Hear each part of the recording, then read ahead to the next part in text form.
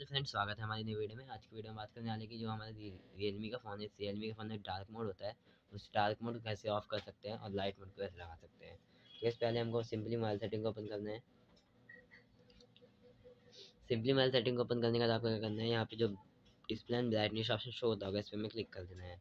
Display and brightness option पर click करने के बाद आपको sorry sound and vibration option पर क्लिक हो चुका है।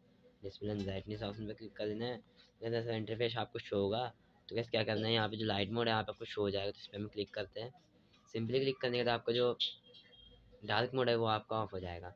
तो इस तरीके से हम डार्क मोड को ऑफ़ कर सकते हैं अपने रियलमी के फ़ोन में। तो वैसे आई होप कि आपको हमारी वीडियो पसंद आए तो वीडियो को लाइक और चैनल को सब्सक्राइब और बेलाइकन ना भूलें। तो वैसे मिलता अगली वीडियो तब तक के लिए बहुत बहुत धन्यवाद बहुत बहुत थैंक यू गाइस